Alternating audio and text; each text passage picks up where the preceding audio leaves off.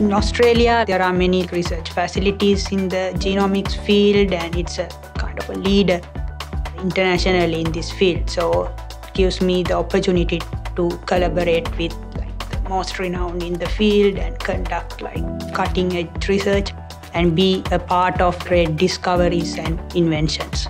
In the genomics research field, there are a lot of opportunities both in academia and the industry.